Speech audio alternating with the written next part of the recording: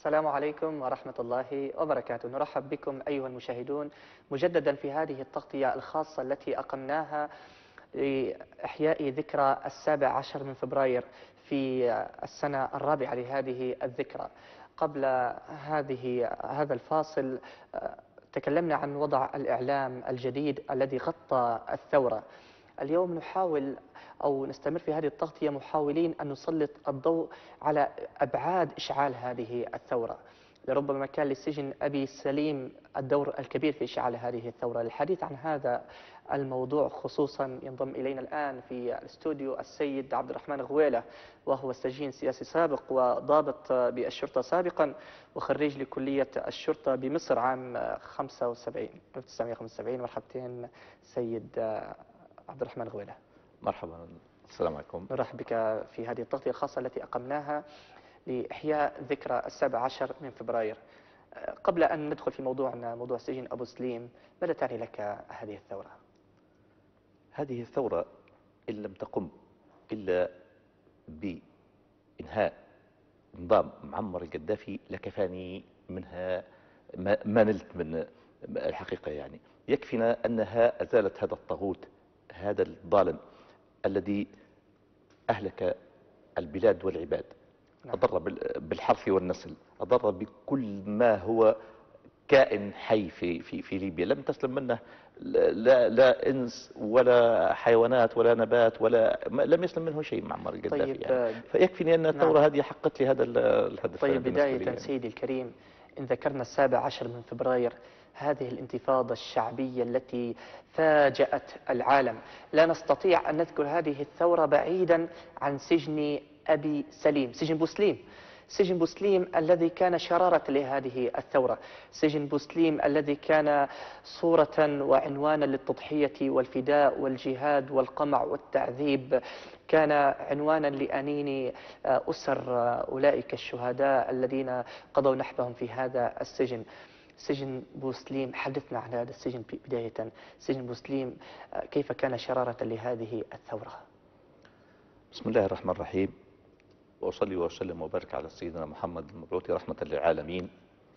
بداية أشكر حضرتك أستاذ أمين على استضافتي في هذا البرنامج. الله يحفظك. وأحيي قناة تنصح والعاملين بهذه القناة المحترمة.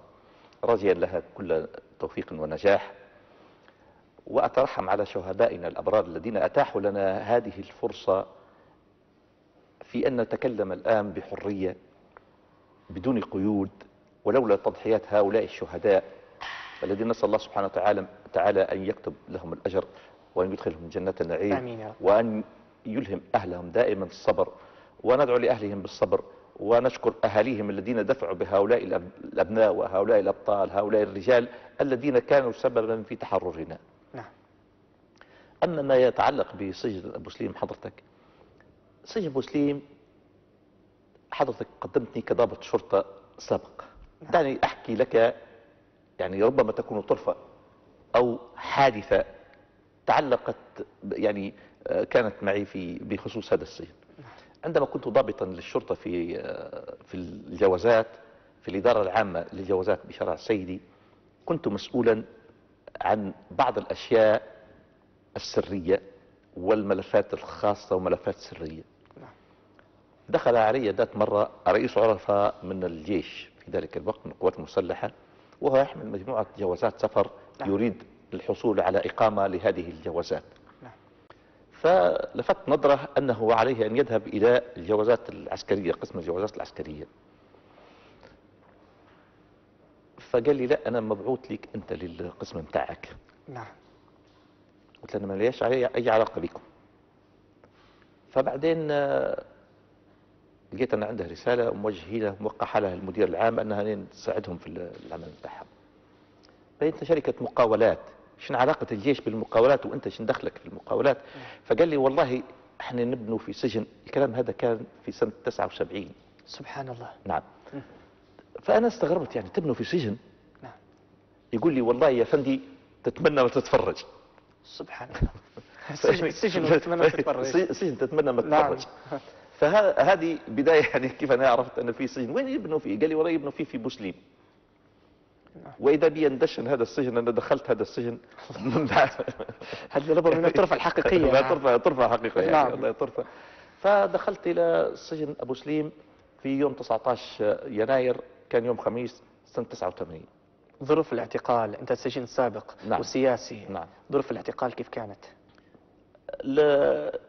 طبعا تعرف أدوات القمع اللي كانت متوفرة وموجودة عنده ويدها الطولة في هذا المجال كان يتباهى بأن لدينا يد طولة. إحنا تورطها يقول لنا تلحق الناس حتى في الخارج ونصفيهم ونقتل و نعم. فما بالك بالداخل يعني؟ أنا صحيح. اتصلوا بنا الأمن الداخلي يجوا عندي أخوي عنده محل صيانة أجهزة مرئية ومسموعة وكذا تلفزيونات وراديوات وفيديوهات في ذلك الوقت. فوقفوا عليه قالوا نبوا عبد الرحمن يا جماعة الأمن الداخلي. فقال لهم أنا عبد الرحمن يعني. نعم أخوك. أخوي. فبعدين قالوا له تعال معنا من أنتم؟ أعطوني بطاقتكم لما عرفهم آه، الأمن الداخلي قال لهم أنا مانيش عبد الرحمن شو تبوا فيه أنتم؟ نعم. قالوا بقى أنت تعال معنا مسكوا أخوي في مكاني وجاني أخوي الصغير في البيت وقال لي آه، راهو أخوك عبد الغني رفعوه الامن الداخلي. نعم. فمشيت أنا يعني وكنت منزعج حوالي الساعة 8 ونص صباحا. كانت عندي الوالدة في ذلك الوقت عندها السكر مرتفع حوالي 300 وحاجه زي هيك ووالدي رحمة الله عليه لي خمس شهور كيف متوفي. نعم. فقبلها بيوم إحنا محلين للوالده لما جه شرين علي أخوي البيت طقطق علي البيت اعتقدت أن والدتي يعني آه، حصل لها مكروه يعني لا قدر الله. فزيت منزعج يعني نجري. بعدين آه، يقول لي لا والله أخوك رفعوه الأمن الداخلي. فمشيت. لما مشيت لهم في المنصورة كان مقرهم في المنصورة فرع طرابلس طبعا المباحث بتاع فرع طرابلس. ما خلونيش حتى نركب السيارة لا، المكاتب أسف يعني ما دخلتش حتى لمكاتبهم استلموني من السيارة على طول ورفعوني لسجن أبو سليم. الشخص اللي آه، كان يقود السيارة كان آه، عريف عندي في الجوازات. يعني شوف ال- المفارقات ال- العجيبة الأخرى يعني. سبحان الله. إيه وأصبح ضابط ملازم برتبه ملازم وأصبح يشتغل في ال- الأمن الداخلي في ذلك الوقت. آه، اسمه ميلاد الحداد يعني. نعم. وكان سيء الخلق وسيء التصرف مع الناس يعني. ف ومعاه واحد ثاني عريف أو رئيس عرفة لابسين مدني طبعا وعنده كلاشينكوف ورقبني التالي في الكرسي بتاع السيارة ويقول لي امشي غادي واخر غادي. لا ما تكش أنت. نعم. أنا متكلم أنت. احترم نفسك. بعدين هذا الحداد قلت له أنا شنو فيه ميلاد؟ قال لي والله يا فندي ويخاطب فيا يا فندي ومش عارف شنو نعم. كذا. إحنا مطلوب أن نرفعوك للسجن بوسليم تحفظ بتاع يومين ثلاثة بس. نعم. قلت له باهي ودي آه، خطني على حوشي خلينا نقول لهم. قال أنا عندي تعليمات وما نقدرش مش عارف. فطول الطريق قاعد بيحكي معاي وبيهدرس معي أنا سكرت عليه ما عادش بقيت نكلمه قعدت نقرأ في القرآن ونسبح ومش عارف شنو ندعي في ربي إلى أن دخلنا السجن بوسليم نعم. هذه كانت هذه ظروف الاعتقال ظروف الاعتقال يعني هذا لربما- أول يوم لربما الأول في, في ذلك. الوقت نعم. في سجن بوسليم تحديدا كما وصف بأن القائد معمر القذافي زي ما كان يسموا فيه كان يعتقل الناس على أهواء الشخصية وتهم تختلف نعم. ما بين سجين سياسي إلى إسلامي إلى وشاية إلى غير ذلك من التهم المعلبة التي كانت نعم. تلصق بمعارضيه أو مناوئيه فإيش صحة هذا الكلام؟ معمر القذافي لم يترك إنسان يعني يحمل فكر أو يعني آه، له نوع من الاستقامة يعني رجل مصلي أو يقرأ قرآن أو آه، معارض مرأة أو رجل حتى الطفل ممكن إحنا كان معنا واحد يعني آه، بلغ الحلم في داخل ال- السجن يعني من شاب يعني لم يبلغ سن الحلم يعني. سبحان الله. أي والله. أحداث. أح- أحداث يعني. نعم. والسبب أنهم هم بحثوا على أخوه ما لقوش أخوه فهذا سيء الذكر اللي ذكرت اسمه ميلاد الحداد. طلع القلم وقال له شن اسمك أنت؟ قال له اسمي فلان. فكتب له اسمه في ديل القائمة ودخلوه لل- للسجن يعني. فكان معمر قدافي قمعي وراضي بكل ما يقوم به ال- الزبانية نتاعه يعني. لكن ف- سيد عبد الرحمن نعم. لو كان نرجع لي الذاكرة قليلا الخلف. نعم. القذافي كان يقول لا يوجد لدي سجون. نعم. وكان ينشد أصبح الصبح فلا السجن ولا السجان باقي. نعم. نعم. وذهب إلى السودان وهدم يعني بوابة أكبر السجون هنالك. سجن كوبر. نعم. السودان سجن كوبر. سجن نعم. كوبر. سجن كوبر نعم. وصرح أنه جاء الوقت للقضاء على السجون نعم. في السودان آنذاك. نعم. وفي الوقت الذي كان يعتقل فيه الآلاف. نعم. من الليبيين. آه، كيف ترى هذا التناقض؟ يذهب إلى دولة السودان لا يوجد لدينا سجون وأصبح الصبح فلا السجن ولا السجان وأناشيد وهيلمان عاملة بينما الآلاف يسجنون. كيف تشوف هذا التناقض؟ لا أنت التناقض ال- نوريك حاجة أخرى تناقض أنا إيه. و- ولعلها حتى هي تكون من الطرائف يعني أو من مساوي هذا النظام نعم. أو يعني عبر عبر عنها كيفما شئت سيدي الفاضل. في ذكرى ما يسمى ب أصبح الصبح اللي كانت هي طبعا بدايتها في كانت 2 مارس نعم. سنة 88 مم. وإحنا اعتقلنا في يناير 89 بعدها بعشر شهور يعني بعد أصبح الصبح متاع المزعوم هدايا. في السنة الثانية لأن سنة لا أول سنة ما فتحوش الناس إذاعات أو غيرها في السنة الثانية كانوا يطلعوا فينا في التهوية أو ما يعرف باللارجة نعم. ويفتحوا في ال- الإذاعة ومكبرات الصوت. يوم 2 مارس ويحطوا في النشيد لا أصبح الصبح. يا سلام. لا السجن ولا السجانة باقي. فنقول لهم إحنا وين يا ناس يعني فهمت؟ فيعني هذه شوف أنت نعم. يعني اسوء من هيك ما فيش أعتقد. نفاق يعني. وكذب وافتراء نعم. على الناس يعني. فهمت؟ الغريب أن فيه الناس ليبيين كانوا مصدقين يعني آه، سذاجة بعض الناس يعني.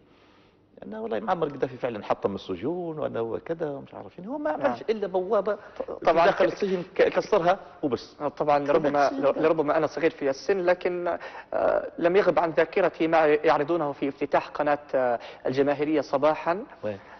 هدم السجون نعم.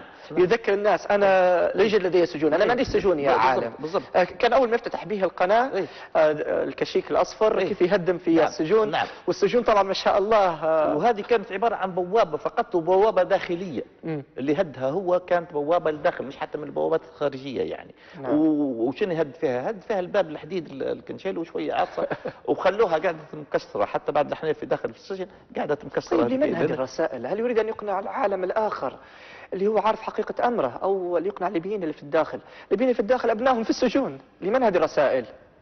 هو معمر القذافي هذا مانيش عارف يعني رجل مجنون نعم. رجل غبي آه، يعني وين كان كلمة رجل الحقيقة لا تطلق على مثل هذا نحن عندما نذكر هذا الكلام يعني- سامحني قطعت عليك في اللي عند الآن مش عارف الحقيقة صحيح لم يسجن أحد من أهله أو من بيته يقول لك لا كان نظام محقق الأمن والأمان ولم تكن هناك سجون والذين سجنهم كانوا زنادقه وغير ذلك. هو هو يعني زي ما قلت لك إن الرجل هذا كذاب يعني يتجرع ي- يمسي ويصبح كاذبا يعني معمر القذافي هو وزبانيته كله اعلامه الناس المحيطين به كلهم كانوا يتنافسون الكذب. آه، يعني رجل في ثورة 17 فبراير جوه كلموه القريبين منه. نعم. فيقول أنا والله الشعب شنو يبي مني؟ وبعدين طلع حتى في التلفزيون ما يبي بال لافمي يعني. أيوة. يعني شفت ال- الشعب يحبني. شعب شعب, شعب يحبني نعم. يعني. آه، ويقول يقول أنا شنو يبوا مني؟ أنا أعطيهم الثروة أعطيهم السلاح واعطيهم نعم. ثروة سلاح ثروة وسلاح شنو يعني؟ وسلطة شنو اللي أنت تعطيها أنت الناس بالقمع تواجه فيها بالقمع في ذلك الوقت في الثوره بتاع 17 فبراير يواجه فيها بالقمع ويقول أنا أعطيتهم الثروة والسلاح. فالرجل كان متناقض مع نفسه كذاب يعني. آه، السجن هذا اللي كنت فيه أنا سجن بوسليم حوالي يعني الفترة اللي كنت فيها أنا في السجن من حوالي 1400 سجين تقريبا أو طيب 500 سجين يعني. سامحني سيدي الكريم. اللي بعدين يقضي على آه، في المذبحة على 1270 سجين. طيب. الآن أنا سمعت معلش سامحني أستاذ أمين فيه بعض الناس يقولوا والله لا, المذبحة العدد راه بسيط والمبالغ فيه والكلام هذا راه مش مزبوط طيب يا سيدي كيف تبغوا تصدقوا الكلام هذا القوائم وهذا انتعت العدد انتعت انتعت الأمن الداخلي موجودة أن فلان وفلان وفلان قضى في المذبحة وهذا العدد هو اعترف به نفسه في يعني- السنين الأخيرة. يعني- طيب سيدي الكريم نعم. لربما أنت في عمر الوالد بارك الله ربي فيك. يكرمك إن شاء الله. الوالد لك يحفظك. النظام السابق كان يصفكم أكرمك الله بالزنادقة. نعم نعم. هل حقا أنتم زنادقة يعني؟ ما ملابسات اعتقالكم لماذا كان يعتقل فيكم النظام السابق؟ هو ال- الغريب أنها كلمة الزنادقة يعني إحنا لم نسمع بها إلا بعد اعتقالنا. نعم. يعني أطلقت علينا هذه الكلمة بعد تقريبا سنة, سنة أو سنة ونصف من اعتقالنا. أما قبلها ما كانتش موجودة. نعم. يعني آه، في شهر أكتوبر سنة 89 ألقى خطاب يعني لنا حوالي عشر شهور وقال أن هذا ما على أهله ما لم ينسوهم. هذا ما زي السرطان يجب استئصاله. هذا ما زي جنون البقر يجب أنه يقضى عليهم.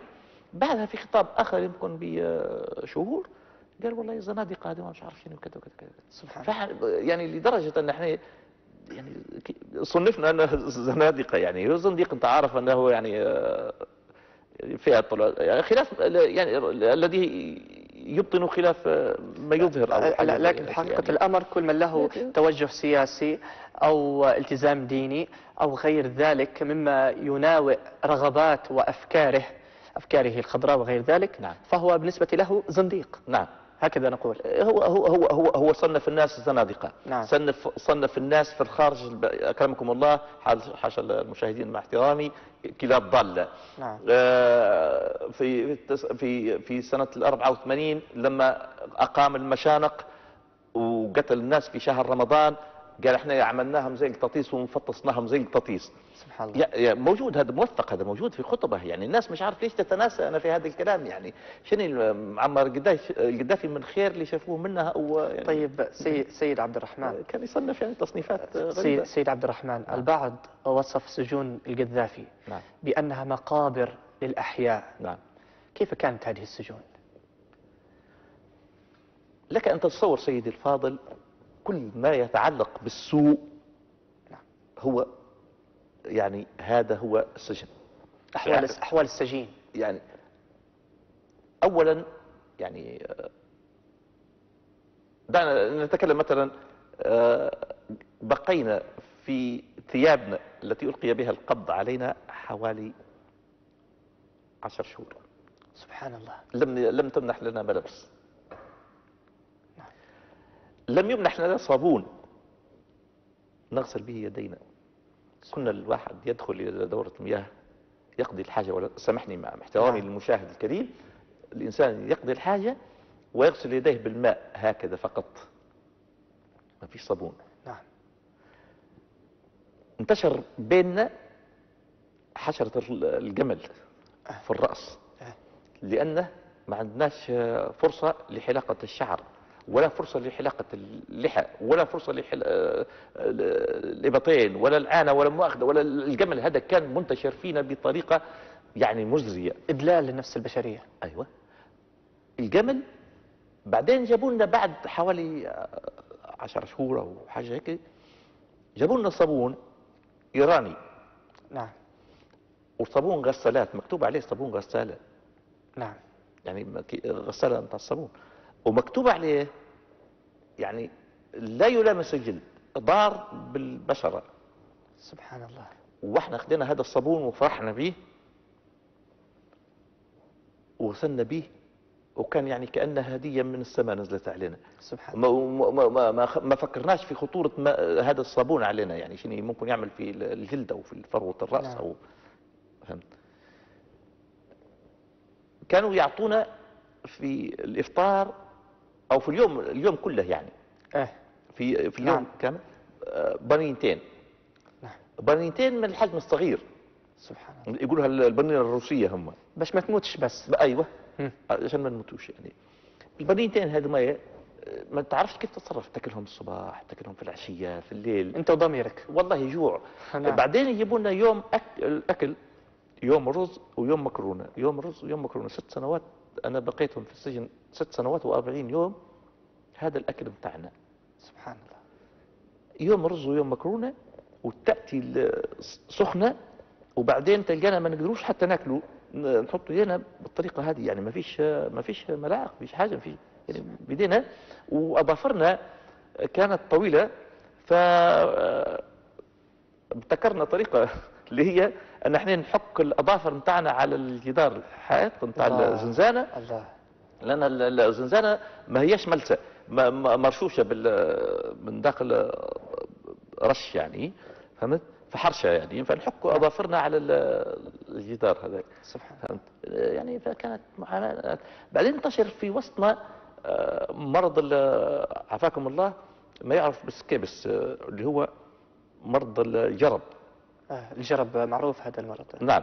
فكنا جانا مرضى الجرب كنا نحكوا يعني الحك الإنسان يعني لدرجة أنا في شباب آه، تحصلوا على علب نتاع الجبنه الزرقاء الصغيرة وعملوا فيها آه، بالمسمار ثقوب فأصبحت يعني آه، حادة فحكوا بها الله. جلدهم فبعدين نتيجة الحك أصبح الدم يسيل منهم. الله الله نتيجة الرطوبة والعفونة اللي موجودة في الحجرة عدم التهوية آه، النفس نتاع حوالي 18 20 شخص في كل حجرة كبرها 4 في 6 تقريبا يعني ودورة المياه في داخلها ولا مواخدة. فتسبب لهم في تقرحات وسبب صديد في جسمهم الشباب هذا تسمم يعني. نعم. فهمت؟ طيب آه، طيب آه، هذا ناهيك عن العذاب والتعذيب وال... آه، هذا هذا سؤالي. نعم. إلى إلى جانب التعذيب النفسي وعدم يعني الأشياء البشرية البسيطة التي يحتاجها الإنسان لا تتوفر في هذا السجن، هل كان هناك تعذيب جسدي؟ التعذيب الجسدي يبدأ من دخول السجن. نعم. كيف؟ صور يعني ساعات الحرس من من من استلامه. يبدو فيه ضرب سبحان الله. يعني ساعات آه، حرس يخش عليه في الزنزانة آه، يفتح الزنزانة ويضرب طيب إيش أنواع التعذيب الموجودة؟ كانت تستعمله في الفلقة. طبعا الطريقة دي معروفة في العالم أجمع. كان عندهم آه، يعلقوا الشخص في في ال- في الجدار بالكليبشات. يعني يقعد زي الخروف معلق من ايديه في شباب الآن لحد الآن ما قاطعه في إيديهم يعني كأنها الله. كوي يعني. ويولعوا تحت منها النار. الله. فيقعد النار تحت رجليه نعم. وهو معلق في ال- الهواء وكان في البرد يعني نحوه من يجردوه من ملابسه ويجلدوه بالكاو اللي هو خيوط الكهرباء الغليظة هذه. يجلدوه وهو وهو معلق. بعدين يصبوا عليها مية. الله. مية باردة في عز ال- الشتاء يعني. هذا لكي يعترف ولا إيش؟ آه، لكي يعترف نعم. نعم. كانت عندهم حجرة في دهليز تحت الأرض. هذه م- مصمطة خالية من أي إضاءة ما فيهاش أي إضاءة. على الإطلاق تحت الأرض ومزوقينها باللون الأسود بحيث أن ما ينبعش منها أي نور. ويقعد الشخص فيها لا يعرف لا ليل لا نهار. سبحان الله. إيه. وما يكلم أحد. يجيبوا له أكل من تحت الباب. نعم. الحارس يعطيه الأكل وما يكلماش فتخيل الإنسان يعني ما يبقى فيها أسبوع 10 أيام شهر يعني بالطريقة هذه يعني. طيب إلى جانب هذا التعذيب. نعم. تعذيب نفسي تعذيب بدني نعم. تعذيب آه، بشتى أنواعه. ما هي أبرز الأشياء التي كنتم تحتاجونها في السجن؟ أنت كسجين موجود بين آه، أربع جدران مغلقة عليك وهذا التعذيب موجود؟ شنو كنتم فعلا تفتقدونه في هذا السجن؟ افتقدنا كل شيء كل شيء. كل ما خطر ببالك افتقدناه. ناهيك عن العائلة والأسرة والاقارب فيش والجلسات تواصل مع العائلات أهلكم ما كانش مسموح لهم يكلموكم. على الإطلاق بعد ثلاث سنوات أنا من اعتقالي باش يعرفوا أهلي أنا وين ما كانوا موجودين. سبحان الله. بعد ثلاث سنوات. وسمحوا لهم بعد ثلاث سنوات بإجراء مكالمات تليفونية واشترطوا أنه اللي يتكلم السجين مرأة. ما يكلمش رجل ما يكلموش أبنائه لماذا؟ والله هذا شروطهم هم. طيب كيف كان واقع السجن على أسرك آه الأسر أسركم وأهلكم وغير ذلك؟ كانوا يعانوا ال- الأسر في الخارج يعني. كانت معاناتهم كبيرة جدا. كانت يعني أنا مثلا نتكلم عن تجربتي الخاصة. أنا تركت أربع أطفال عند سجني. أكبرهم بنتي نسيبة أحييها في هذه الليلة هي في تركيا. إن شاء الله. الله يمسيها بالخير. هذه كانت عمرها تسع سنوات. نعم. تقرأ في الصف الخامس. بنتي الثانية سندس في الصف الثالث. عمرها سبع سنوات. نعم بنتي حذامي عمرها سنة ونص. نعم. ابني محمد ثلاثة شهور. فتخيل هؤلاء الأطفال لا معيل لهم. سبحان الله. زوجها ربة بيت عندها قسط من التعليم الحمد لله ولكنها يعني ربة بيت موجودة في البيت وحافظة على لا بيتها لا يوجد من ي- يعوله عندي إخوتي طبعا بعدين اهتموا بي وعمي وأصدقاء وغيرها لكن ما يجيش زي الأب. أكيد. مستحيل يكون زي نعم، الأب صحيح. يعني. نعم. والمثل المثل الليبي يقولوا يعني في مثل ظريف عجبني يعني يقول لك لو كان ال- العم يربي ولد خوه ما فيش حد يبكي على أبوه. سبحان الله صحيح. يعني يعني الأب ما, ما يجيش حد زيها يعني مهما كان يعني. نعم. آه، انت أنا أنا أنا, والدي لما توفى عمري عمري 38 سنة وشعرت بلوعته وفراقه يعني. فما بالك بأطفال لذلك يعني جعل اليتيم. يعني أيوه يعني نعم. فقعدوا أبناء أيتام وابوهم حي. يعني عاشوا اليتم. وولدهم حي يعني على وجه الأرض طيب يعني. المشاعر. نعم. مشاعر السجين بعيد عن أهله بعيد عن أطفاله بعيد عن فلذات أكباده. نعم. كيف كانت هذه المشاعر؟ صدقني أنا نقول لك أني في بداية السجن بكيت بكاء مر. نعم. يعني لم أحتمل آه، السجن يعني وخاصة في الأيام الأولى للسجن يعني لم أحتمل السجن على الإطلاق يعني تركت أبنائي أطفال تركت آه، زوجتي كانت آه، واخذه دور برد في ذلك ال- اليوم يعني لما اعتقلت والدتي زي ما ذكرت السكر. سكر آه، والدي لي خمسة شهور متوفي وأنا أكبر إخوتي. كنت المفروض أنا اللي بنقود الأسرة رد بالي من أختي أخواتي. كان الوالد رحمة الله عليه دائما يوصيني بأخواتي بالذات يعني أربع أخوات كانوا لي دائما يوصيني في حياته. وهو في كامل صحته يقول لي رد بالك من أخواتك. تصور أن أخواتي الأربعة تجوزوا ما حضرتش منهم ولا واحدة. سبحان الله. يعني يعني راحت هباء حتى وصية الوالد رحمة الله عليه يعني. نعم. وطلعت ولقيت أخواتي متجوزات وعندهم أبناء. يعني ف يعني معاناة يعني الحالة النفسية يعني وقع مؤلم على القلب جدا جدا يعني. ولما جيت تشوف يعني معاناة آه، يعني ناس آخرين معي في داخل السجن مثلا كانوا في ناس مكفوفين.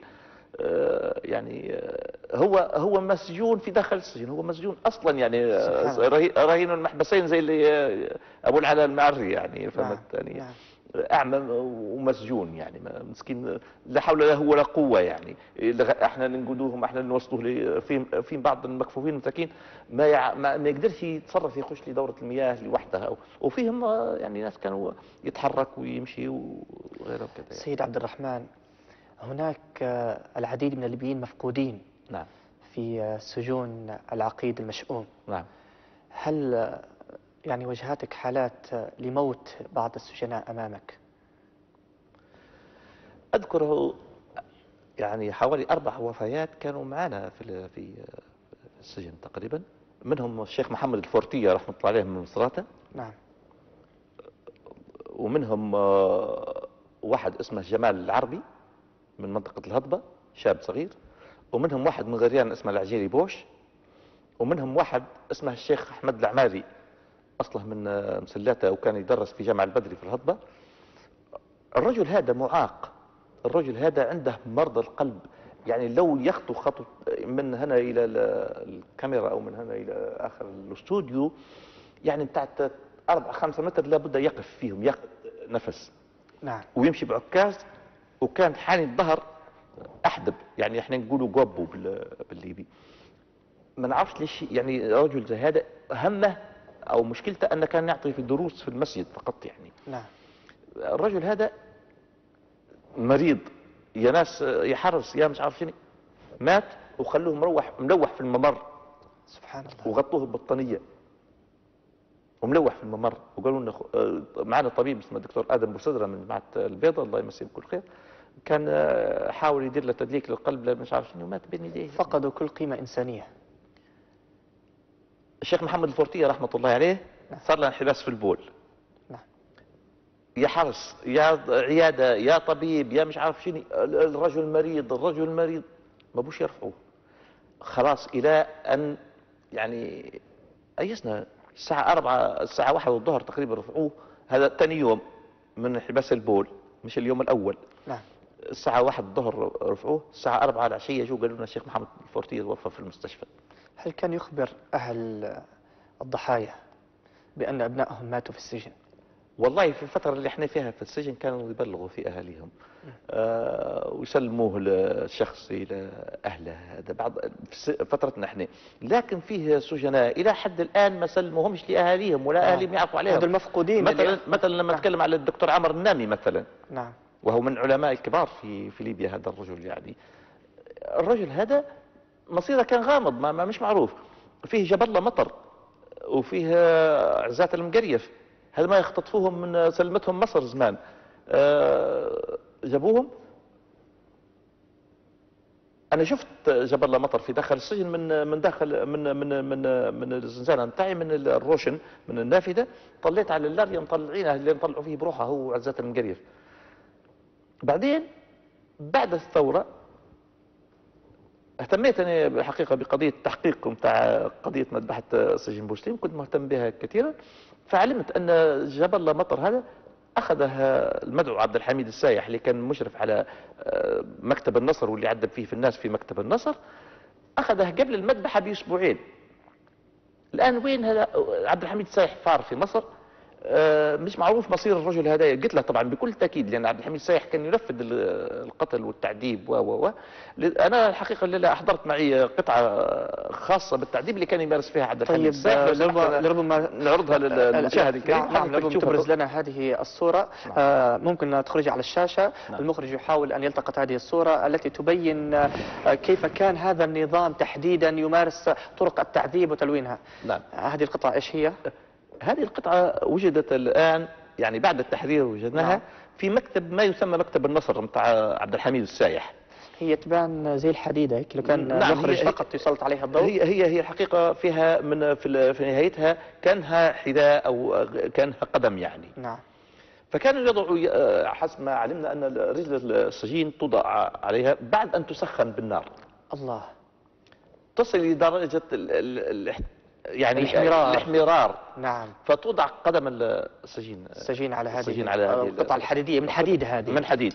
نعم. ففيها يعني كيف أماكن كيف يلبسوها؟ يعني بسبتة أو بحاجات يعني نعم. فيها ثقبين من هنا وثقبين من هنايا بحيث أنها تقفل على الرجل ويخلوه. هذا كله لممارسة الضغوط للاعتراف. يعني, يعني كانت أيضا هذه سامحني أستاذ أمين. نعم. هذه القطعة أيضا كانت توضع في رجل السجين وتوضع فيها أثقال. نعم. من من الثقبين هذا ما أثقال حديدية ويعلق. فتخيل أن إنسان عنده أثقال في رجليه وهو معلق يعني. تسحب فيه. فتسحب أيوة ركب الساقين كذا. فغصبا عنه يعني نعم. يملي اللي يملوه عليه يوقع عليه يعني نتيجة القهر والتعذيب في مثل هذه الأشياء يعني كانوا يعني. كانوا يتفننون في طرق التعذيب ساديين هم كانت عندهم نزعة نعم. سادية يبدو لي يعني مش ما همش كش أنا حقيقة لما شفت هؤلاء البشر في داخل السجن سامحني معلش نعم تبقى ما فيش مشكلة نعم طيب من أين استقوا هذه العقيدة العقيدة الوحشية آه، الجبروت يعني القذافي لديه شدود فكري شدود بكل معنى الكلمة. لكن الجنود الذين معه ما كانتش عندهم نوع من الإنسانية. لا أظن أن فيهم واحد له قلب.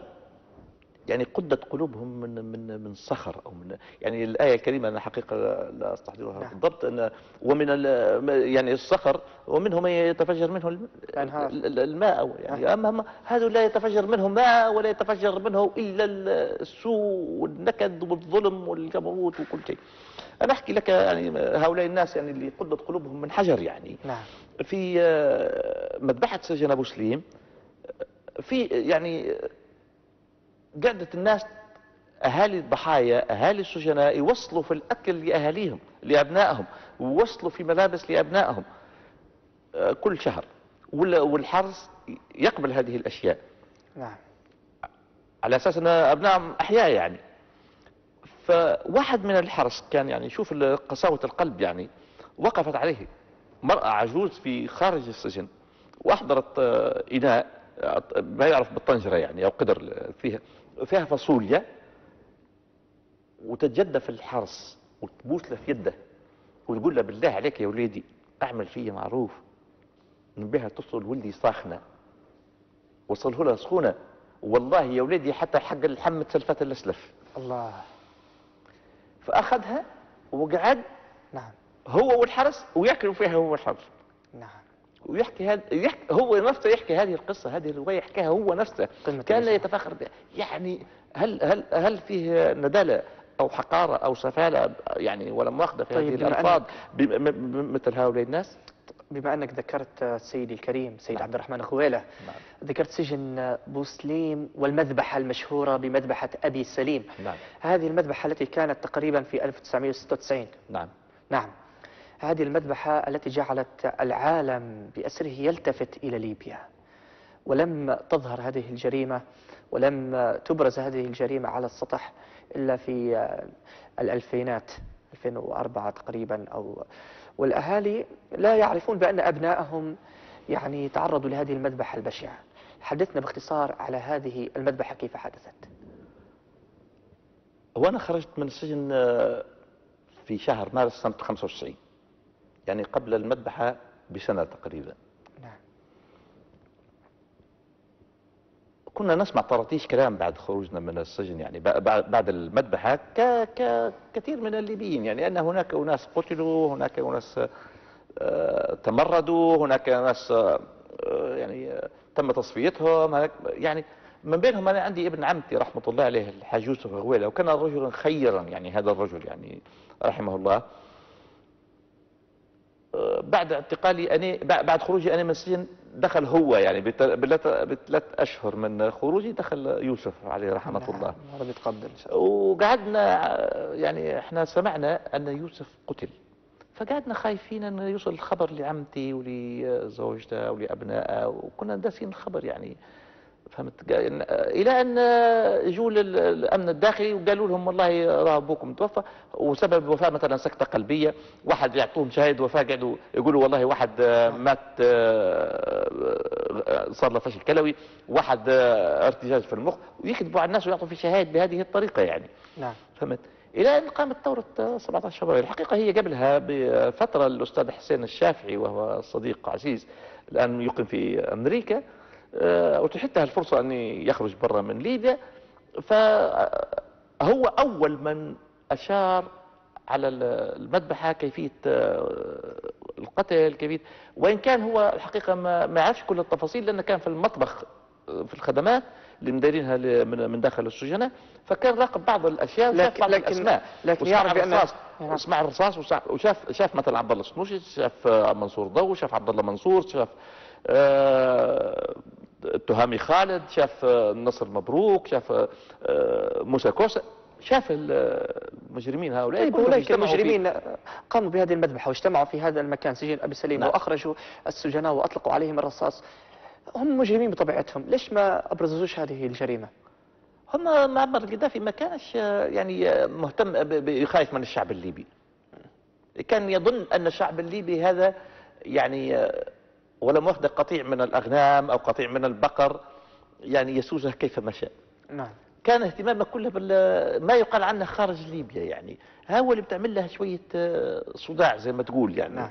وكان آه، وللأسف الشديد أن الغرب يعني كانوا آه، في فترة أن مزينين معمر القذافي لدرجة أن في شركات أجنبية حتى الفترة الأخيرة من الحكمة وت- ت- تبي تظهر أنه هو رجل مصلح أو رجل كذا واستقبلوه في فرنسا استقبلوه في إيطاليا استقبل أوروبا أصبحت تفتح حتى تفرج له في ال- نعم ال- ال- بالسطح الأحمر يعني المصالح المشتركة. بال- أيوه نعم. فما كانتش يعني لكن لما كثرت عليه طبعا الأقاويل في قضية مذبحة بوسليم والأستاذ حسين الشافعي المنظمات العالمية غيرها كذا هو اللي التفت لها بعد التالي كيف هي الحقيقة المذبحة تطول تفصيلاتها وأنا عندي نحن نريد نتكلم كل عن. المذبحة بالتفاصيل ربما تطول لا. تطول نعم آه. تطول ال- التفاصيل المذبحة لكن آه، مثلا أنا نقول لك أنهم قتل 1270 شخص في يوم واحد قتل المرضى عبد الله السنوسي قال لهم اخرجوا لنا المرضى يوم الجمعة يوم 28 6 سنة 96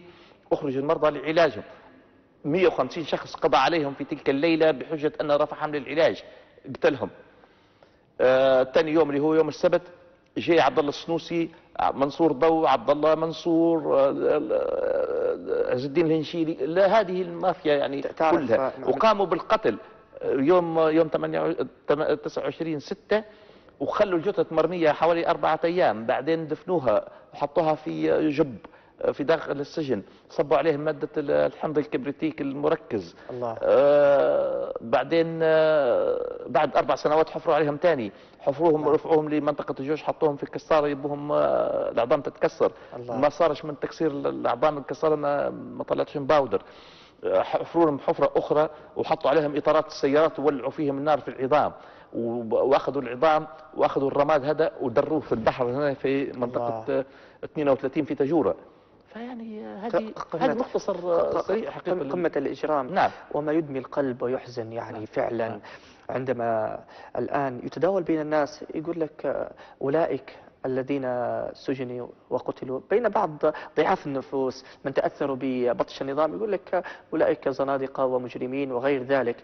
بينما تقلب آه، صفحات الأمن الداخلي آه، فلان حافظ للقرآن تهمته قبض عليه في صلاة الفجر لأن اجتمع اجتماع مع أهل المسجد بعد الصلاة. فلان أيضا آه، ربما كان من العلماء ولكن متهم بأنه يناوئ النظام في بعض الأفكار السياسية. فأغلب آه، التهم تهم فكرية وتهم أيديولوجية. أنا في التحقيق. نعم. لما حقق معي المحقق. سألني بعض الأسئلة تدل على تفاهة النظام. وتدل على تفاهة المحقق وتدل على تفاهة يعني آه، معمر القذافي وكل من اقتنع بفكره وكل من هو مقتنع بفكر معمر القذافي الآن. يعني أنا أعتبره إنسان تافه يجانب الحقيقة. يسألني المحقق. يعني آه، تصلي؟ من ضمن الأسئلة. سبحان الله. قلت له نعم نصلي فقال لي من اللي قال لك صلي؟ فماذا ماذا تنتظر مني إجابة؟ يعني لمثل هذا التافه يعني. أنا ماذا تنتظر مني إجابة لإنسان يسألك؟ هذا فقط تبين للمشاهد يعني يعني كيف النظام كان يتعامل؟ نعم. أنت يا من تأثرت بالآلة المضللة لهذا النظام بأنهم زنادقة بأنهم غير ذلك. انظر إلى الأسئلة التي كانوا يسألونها. بالضبط. يحاربون يعني آه، صلب العقيدة والدين الإسلامي. بالضبط. يعني هو نعم. معمر القذافي هذا يعني كونه لا ينتمي إلى الليبيين أو لا ينتمي إلى دين محمد صلى الله عليه وسلم لا ينتمي إلى الإسلام هذه لا شك فيها ولا جدال. أنا أحكي لك حادثتين أو ثلاثة سيدي الفاضل نعم، تفضل. عن أن معمر القذافي هذا طبعا من المعلوم لكل المشاهدين ومعروف لكل الليبيين أن معمر القذافي تجرأ على سيد الخلق عليه الصلاة والسلام. و... ولم يذكر الرسول صلى الله عليه وسلم ولا إلا بسوء. نعم. تهكم على السنة تهكم على القرآن الكريم تهكم على الحج تهكم على كل ما يتعلق بدين الله. نعم.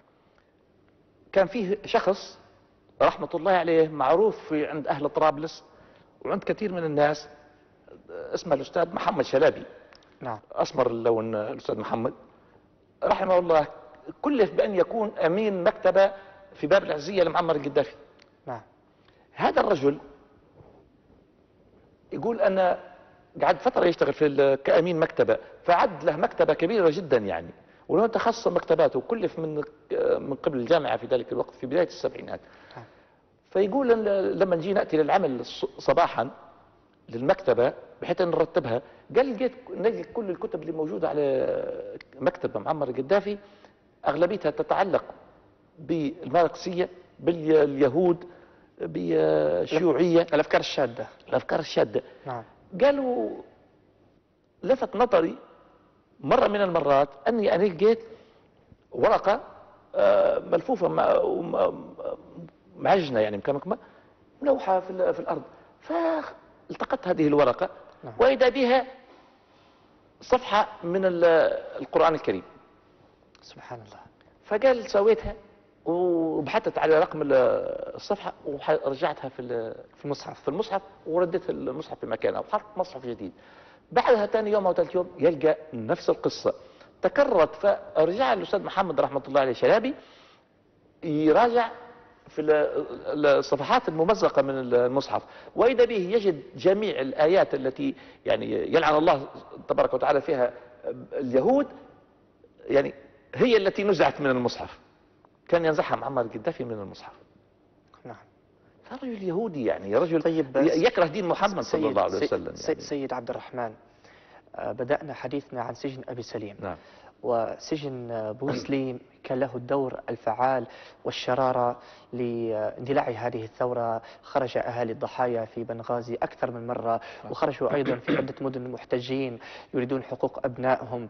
فتعاطف الناس ونحامي فتحي تربل واعتقل المحامي وخرج الناس في السابع عشر من فبراير وقامت هذه الثورة التي اليوم نحيي لربما يعني ذكراها. هذه الثورة المجيدة المباركة التي خلصتنا بفضل الله سبحانه الحمد لله. من براتم هذا النظام. سجن أبو سليم كان له دور كبير في هذه الثورة. حققت الثورة جزءا ما سقط النظام. كيف استقبلتم هذه الثورة؟ أنت كعبد الرحمن غويلة سجين سياسي سابق كيف استقبلت خبر الثورة وأيضا مقتل آه، جلاديك؟ ويعني من كانوا سبب في قهركم؟ يعني آه، حقيقة أنا دائما نقول فيها يعني آه، هي نعمة الإسلام لا تضاهيها نعمة يعني. هي في المقام الأول دائما الحمد لله رب العالمين أن الواحد كان مسلما الحمد لله رب. العالمين. هذه نعمة لا تضاهيها نعمة. ثم تأتي بالنسبة لي بالنسبة لي نعمة خروجي من السجن. الحمد لله الذي أخرجني من السجن قال سيدنا يوسف يعني فهمت؟ حتى إحنا الحمد لله الذي أخرجنا من السجن يعني. الحمد لله. آه، تأتي يعني ليشفي الله قلب أو صدر قلوب المؤمنين يعني إن شاء الله. فيعني حقيقة لم أجد تعبير مثل هذا التعبير أن الله شفى صدورنا يعني يعني ب ب ب وأخذ لنا حقنا أنا حقيقة قابلت واحد من الجلادين أو واحد من الطغاة اللي كانوا مع معمر القذافي يعني من كبار الطغاة اللي هو عبد الله آه، منصور ضوي يعني نعم. فقلت له أنت ضربتنا بالصواريخ ضربتنا. بالدبابات بالقنابل بي بي بي, بي. سألته كم عندك من الأبناء؟ فقال لي تسعة أبناء. قلت له وين أبنائك الآن؟ قال لي ما نعرفش عليهم ولا واحد. قلت تعرف شنو السبب؟ السبب لأنها أنت تضرب بالصواريخ بالدبابات بالقنابل. وإحنا في الليل نقول اللهم فرق جمعهم اللهم فرق شملهم اللهم يا رب الله. زلزل نظامهم. نعم. قلت له كانت دعوة مظلوم دعوة في ليل. كيف استقبل كلامك؟ فبكى والله. سبحان يعني هذا هذا الطاغية هذا الجبار هذا يعني بكى لكن لا أظن أنه بكى من يعني ربما من القهر حرقة آه، ربما آه. على أبنائها اللي ما عادش يشوفهم طيب يعني. سي- سيد سيد عبد الرحمن كانت الآن الآن صدرنا حقيقة ثورة 17 فبراير بارك الله فيما قام بها من يعني من آه،. سيد عبد نعم، الرحمن نعم. الآن الجلادين و يعني الطواغيت نعم موجودين في السجون. نعم. عبد الله السنوسي ومن معه الآن في السجون الليبية. نعم. موجودين في طرابلس تحديدا. نعم. إيش تطالبوا تو وأنتم سجناء سابقين؟ القصاص.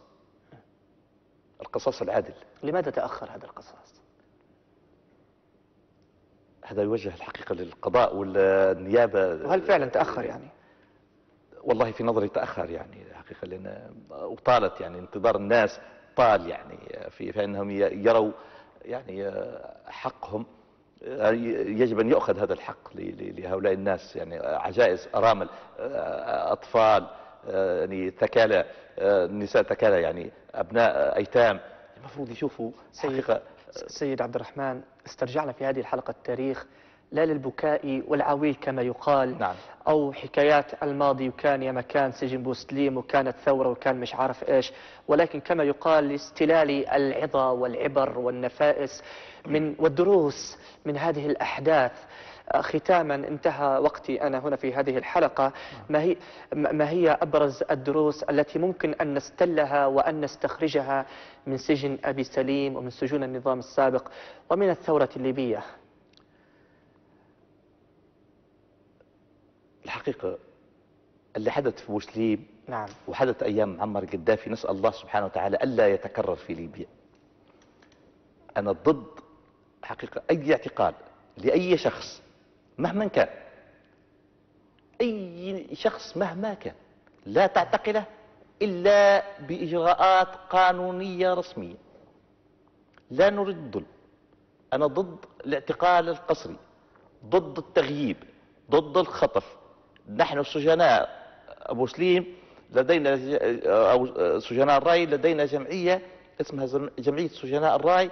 يعني كلنا نتفق في أنه لا قهر لا ظلم لا اعتقال بدون إجراءات قانونية. يعني فلتكن لكم عبرة بمن سبق. أيوة. نعم. يعني هذا هذا اللي ننادي به الآن. نعم. لأن لأن لو كررنا نفس التجربة الماضية مع ما معناها إحنا ما قمناش بالثورة معناها الثورة لم تنجح. نعم. الحقيقة آه، إحنا لا نريد أن يتكرر الماضي. وربما هذا هذا الذي ذكرته من تجاوزات فعلا بعد الثورة حدث حدثت سجون حدث تعذيب لأناس أبرياء وحتى غير الأبرياء في شرعنا لا نطالب بهذا الفعل يعني. نعم. هذا منافي لشرع الله سبحانه نعم. وتعالى. نعم. فإيش تقول لكل واحد عند الآن؟ ما زال يمارس هذه آه، آه، يعني الأفعال المشينة. أنا نقول اتق الله في نفسك لأنك لا تدري ربما تكون في مكان هذا السجين في يوم من الأيام. سبحان الله. ولكن آه، عبد الله السنوسي عبرة. وليكن عبد الله السنوسي لك عبرة وليكن نعم. آه، من قام بتنفيذ مذبحة سجن أبو سليم القتلة اللي قاموا بالقتل الآن موجودين في داخل السجون يعني. نعم. آه لا يعني أنا حقيقة رأست التحقيق فترة من فترات وأنا كضابط شرطة في آه، آه، مرة كنت رئيسا للتحقيق. فكانت من مبادئ امتعي وأنا شاب صغير في ذلك الوقت يعني من سنوات يعني آه، كانت من مبادئ امتعي أني أنا كل من اشتغل تحت امرتي نبهت عليه أنك أنت لا تؤذي إنسان لا تضرب لا تستعمل العنف في التحقيق. إحنا محاضر جمع استدلالات نأخذ ال- الأقوال من الناس ونحيلها إلى النيابة. النيابة هي جهة التحقيق. اعترف المجرم أم لم يعترف أمامك؟ أنت مجرد تأخذ محضر جمع استدلالات وتحيله. فك يعني أنا ضد الضرب ضد التعذيب ضد العنف ضد هذا كله أنا ضدها الحقيقة نعم. في السابق وال- والآن بفضل الثورة المباركة يعني نرى أنها يعني لا يتكرر الماضي ختاما ختاما سيد عبد نعم. الرحمن نعم آه، في كلمة السابع عشر من فبراير إلى أين؟ إلى النجاح بإذن الله بإذن الله ستنجح باذن الله ثورة 17 فبراير لأنها ثورة مباركة لأن من قام بها شباب وهبوا أنفسهم لله سبحانه وتعالى. لأن من خرج خرج لله لم يخرج لغاية لمال لم يخرج لمنصب لم يخرج لجاه. خرجوا والآن الشباب الذين في في الجبهات إلى حد الآن. ما الذي دفعهم إلى خروج الجبهات؟ لإعلاء كلمة لا إله إلا الله محمد رسول الله صلى الله عليه وسلم. ستنتصر هذه الثورة بإذن الله وهي منصورة نعم. مرعية بإذن الله تعالى سبحانه وتعالى. السيد عبد الرحمن غويلة ضابط التحقيق سابقا وكنت ضابط في الشرطة سابقا وأيضا سجين سياسي صادق بالسجن أبو سليم. شكرا لك على هذه الكلمات. التي ربما رددتنا إلى الماضي بقساوته كما يقال ولكن نستفيد من هذا الماضي. بارك الله فيك. شكرا لك سيد بارك الله فيك. سيد شكرا. الله الله يحفظك. إن شاء الله. والشكر أيضا موصول لكم أيها المشاهدون على استمراركم معنا في هذه التغطية الخاصة التي نحيي فيها ذكرى السابع عشر من فبراير. مني أمين الهاشمي وفريق العمل بقناة التناصح. تحية طيبة والسلام عليكم ورحمة الله وبركاته.